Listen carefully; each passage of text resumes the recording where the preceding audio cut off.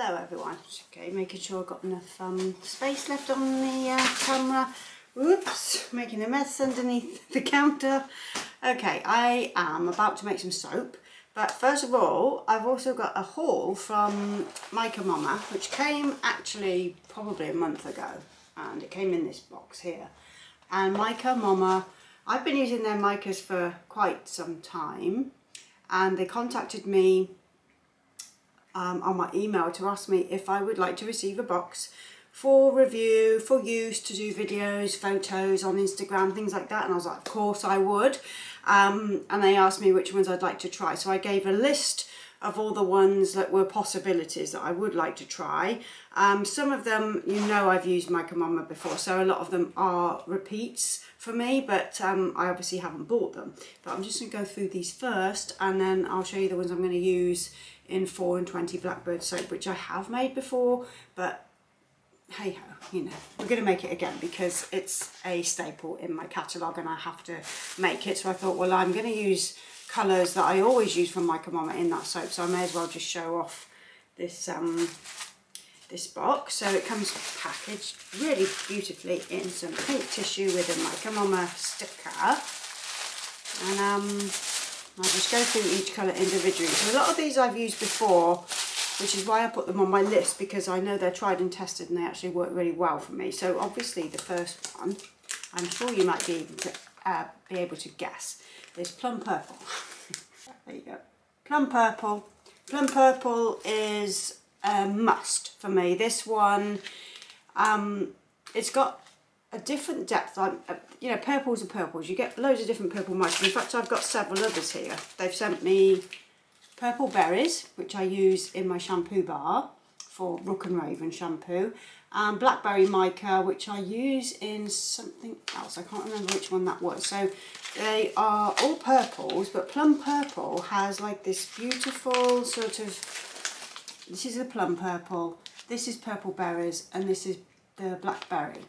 So we're going from light to dark, but the plum purple has like a really nice iridescence. They all do, but plum purple's just, it's a really special colour. And when you put this into your soap batter, it's stunning. I mean, you've seen me use this before, so I'm going to use this again today. So I'm going to put that to the side because I'm going to need that one. I'm also going to be using one from the Soapery, which is the Black Sparkle, which is here. It's just a black mica. Um, instead of using charcoal, I'm going to use a mica because I don't want this soap to be exfoliating. It's just a nice smooth bar. Um, so I'm going to go through the others. There's another few in here that you've seen me use many times before. So my favourite ones I'll go through first and then we'll get to the rest. So pistachio is another one. Yeah. There's like, it's like a jungle sort of green, like a tropical green. Um, actually with the purple goes really, really well. And I've used these two together in my wild fig soap with another one I've got here, which is sky blue. Sky blue is, it looks kind of really blue in the packet, but when you use it in soap, you obviously use sparingly to get like a really powdery, soft blue, and that one works really well. So that's what I use in wild fig soap, those three together and they really work well and I, I use this one to create like a pale blue base which you've probably seen me make that before. So I am going to be using plum purple today so let's put these two to the side. So that's pistachio sky blue and then this one is also going in today's soap. This is red riot and this is another really really good one if you want a vibrant pink. And it's a pinky red. I mean it's red riot but it's really like a beautiful fuchsia pink or like a cerise pink. So these two together is what I'm using with the black on a white base. That's what I'm using today. Other ones that I really like, there's another red here, which is a cherry red. And that's here, which is slightly different to the Red Riot. There you go, it's like a slightly darker colour. So cherry red obviously would be really great for like a black cherry soap. What's that fragrance by Nature's Garden? Black Cherry Bomb, like really, really light, stinky one. That would be perfect for that. cherry Red Mica I will probably use in something like Bite Me or something like that. would be like a really good one to use it for. but we shall see. I'm going to put it to the side and have a think about that one. Other ones that I really like, cerulean. You've seen me use that one many times. So when I sent them the list, I was expecting them to send me like, you know, maybe a few from my list, but they sent me all of them from my list. So I'm incredibly grateful for that. I was not expecting like a whole box of micas, but um, yeah, thank you Mica Moma for sending these through. Another one I really like, this is Forest Gold. Forest Gold has like gold flecks, so when you make it, like if you make soap with this, it's like, um, it looks like a green, and then further inspection, if you really study the bar, you can really see like these lovely gold flecks in there. So I really, really like Forest Gold. Then I've got Cappuccino, which is one that I use for my shampoo bars, Dark Carnival shampoo bars. I use that one. And Cappuccino comes out more of a toffee, like a toffee shade. So if you're making like a caramel soap or something like um, pumpkin soaps, things like that for Halloween, then this gives a really good toffee colour. So, I mean, lots of those sort of autumnal soaps, want you want that toffee shade. So cappuccino is a really good one for that.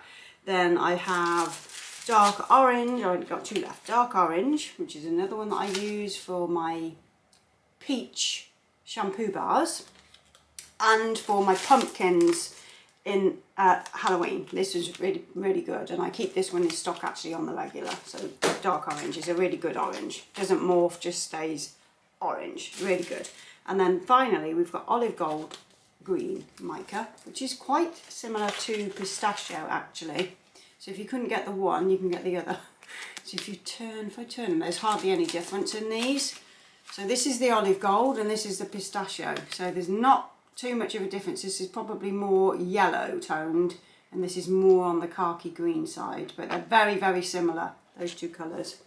But I will use them nonetheless. So that's the Mica Moma haul. So if you want to stay tuned to um, watch me make 4 and 20 blackbirds yet again, then stay tuned and you can see how this is made. Okay, I'm just going to pour the lye into my oils.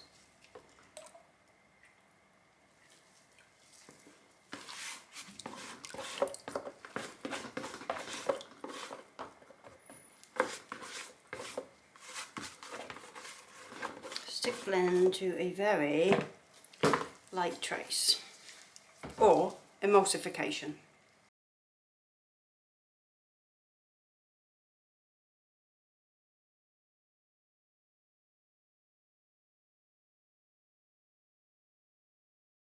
Okay. So let's just pour some off so we can do my three colours.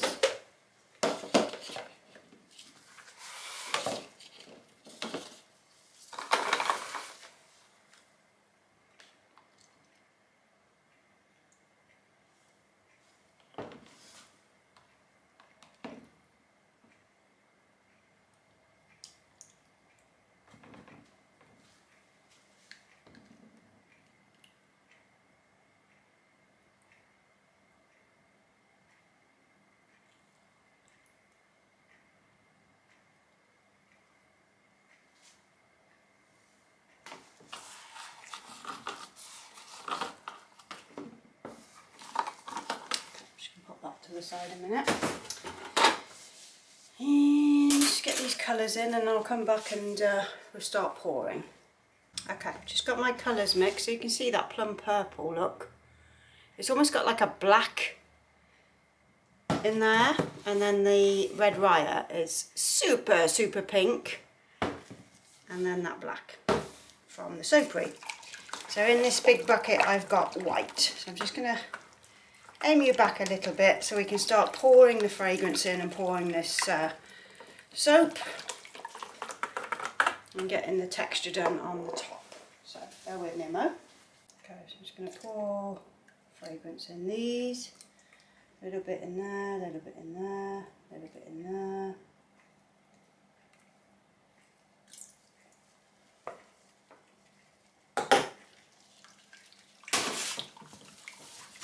This one can move quite quickly sometimes, so you might have to move a bit faster. I'm just um, not going to stick blend it because it can cause me issues if I do.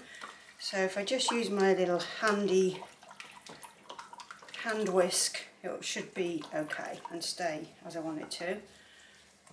Just mix that in. Just do it quickly. And then I have to work relatively fast. Which can be a little stressful.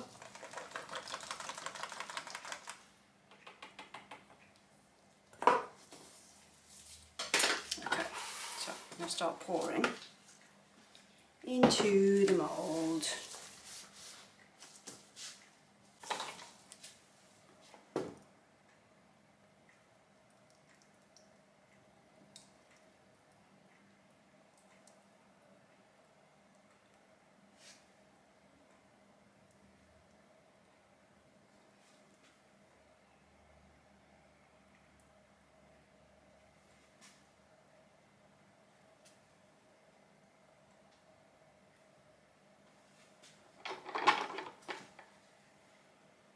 A little bit more at end.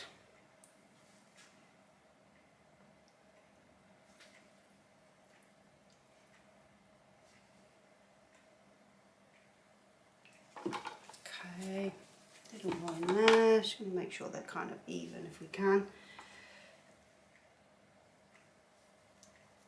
Okay, so I'm going to go in with the plum purple first, which has already started to thicken quite a lot. Keep it high. Okay, and some black. Stay slightly more fluid.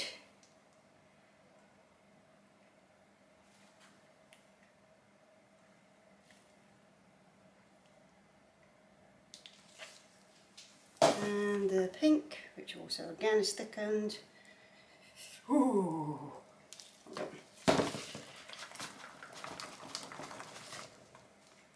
Come on, pink.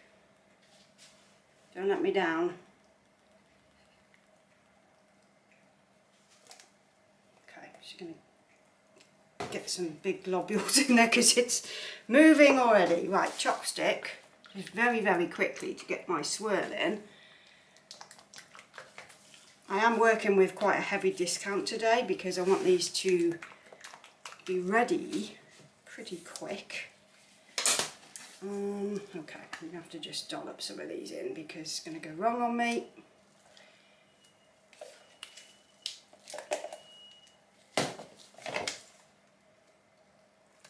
Just make sure they're even as much as I can.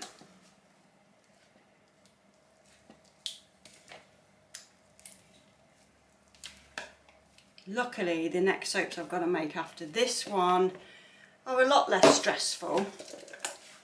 This one always has a tendency to move if I do that discount quite heavy, and it has, so let's get some more of the white.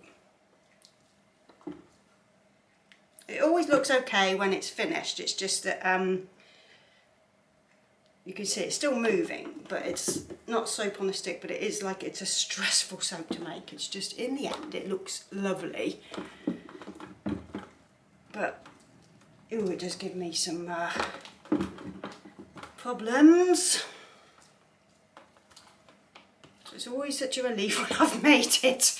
When I've sold out I'm like oh god I've got to make it again. And it's like it's yeah it can be quite stressful. I'm sure there's other videos where it's actually not as stressful as this but um you might have to go back through the channel to find it but it's just today I was uh, I was ready for this to go like this because I've done a 50% water discount on this one today which is rather hefty for one that causes trouble so don't do that if you've got a soap that you know causes you issues. It's just I've made this a lot, lots and lots of times, so if it causes trouble, I know sort of how to handle it, as you can see. and I do want to get that texture on the top, so I'm going to just clean up a minute, because that makes me feel worse if there's a mess.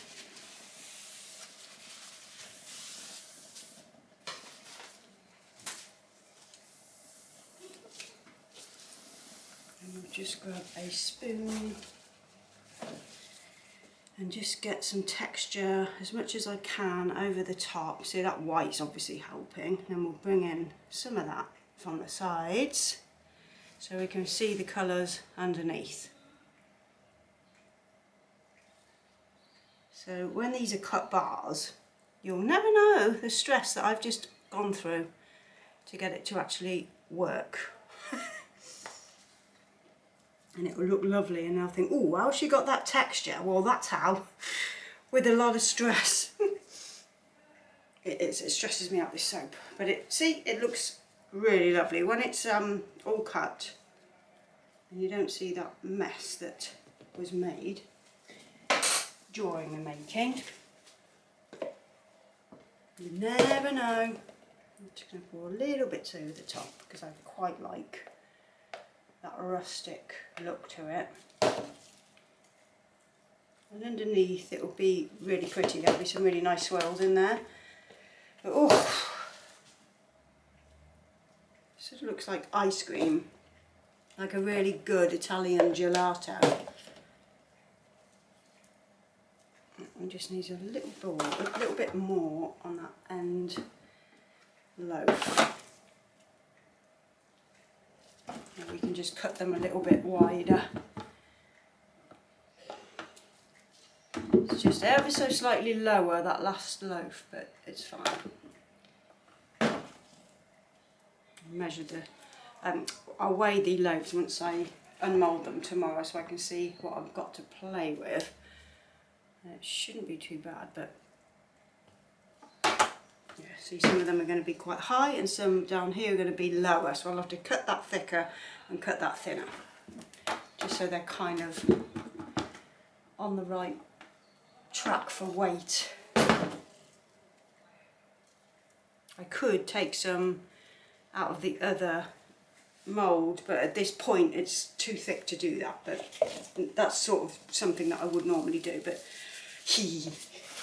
yeah, I knew I was going to get a little stressful time there from this one. let's tidy up the edges. Oh my god, I'm sweating. It's really hot in the UK at the moment. Um, we've had thunderstorms.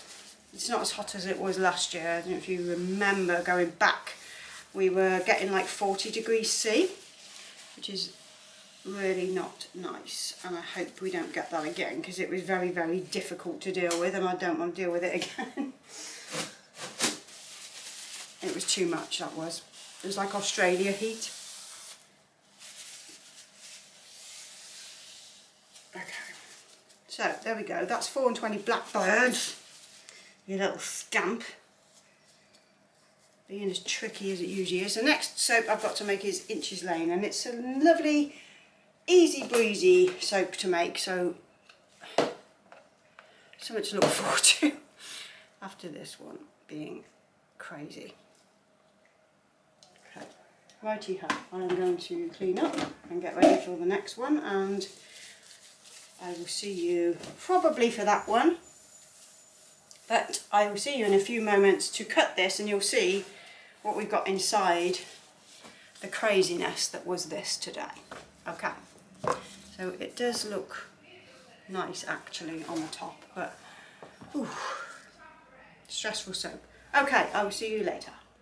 Right, so I'm going to cut then our lovely loaf of 420 blackbirds. I've already cut too low, so this is the last one just to uh, get this uploaded for the video. So try and get you a nice close-up. It's kind of a yellowy colour because this time I didn't use as much titanium dioxide as I usually would. I want to sort of cut down the usage of that a little bit. But um, this soap does sort of um, look a little bit better for having that white in there. But I didn't want it to be stark white, so I've taken a little bit out. I'm just going to cut off the end for some samples. And these are really, really lovely chunky bars. So if you're into chunky bars, you'll be able to buy this one in a couple of weeks um, from the website, which is listed below. Also on the description below is my newsletter sign up. So if you want to sign up for information and look at that, um, discount codes and things like that, then newsletter sign up is below. Also below is the links to my Etsy where you can buy my recipes and such. That's all sorts of things. If you wanted to sort of set up a little soap making company, then I can help you get started with basic recipes and things like that. And there's, yeah, all sorts of bits and pieces below. So if you look at the description, which is below the videos, you'll find all the information.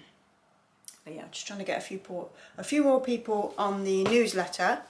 So if that's your thing, and sign up for that. So I don't spam people. Sometimes you might get um, a newsletter once a week. Sometimes you might get one every couple of weeks. It's just if I've got stock updates, then I'll send a newsletter then. And then if I I'm just sharing some information or some news, I also share favourites from across the globe, whether that's books or um, things I'm watching, things like that. Sometimes I'll do like a sort of email that I call from the workshop and that's just stuff that I've been listening to or podcasts, anything like that, then come and sign up and you can uh, get involved and send me emails as well. So you can always reply to any of those that I send out just to keep in touch really. And I like all that because it's sometimes, you know, social media can be a little bit impersonal. So if you make it more personal. I think the newsletter is the way to go because everybody scrolls, you know, everybody's always scrolling Instagram, scrolling Facebook, and it's what we do every day. We're all guilty of doing it unless we don't use those apps, you know, but I don't think there's that many people out there that don't. But um, it just sort of takes that personal touch away, and I really, really like people's newsletters if they've got something to say. It's not all you know, I'm not always really salesy. I like to just sort of keep in touch with um, people I like to talk to. So yeah, come and sign up for that. That's, uh, as I said, in the description below, along with all the other bits and pieces. So yeah, this has come out actually really nice. I've just been um, updating the window of the shop, which I'll show you at the end. I've bought some new plants recently as well. I bought some house plants. I've got some in the window, some hanging up. I've got one that actually really needs to be repotted. It's got really quite big since I bought it because it's right in the window in the sunshine. So yeah, probably should um, repot it. I'll show you what I've got in a minute. You can have a look. So that's 4 and 20 blackbirds. I'll be back for the next soap. I'm making Inches Lane again, so I'm going to film that one. Because it's such a lovely soap to make. It's such an easy one. Um, and after the stress of this one, it's, uh, yeah. So subscribe and you'll uh, see that one go up when it goes live. I've got to put this one up first and then I'm going to do Inches Lane. So stay tuned for that one. So these are just samples that I do for sample packs through the website. I just sort of sell like a pack of five samples. If you can't make up your mind what you're buying, then samples are the way to go. And you get sort of like five of these sort of sized. It's about less, sort of not less than 200 grams is what you get for a sample pack. Okay, that is 420 blackbirds. I will be back for the next one, but I'll show you the window in a minute hold on.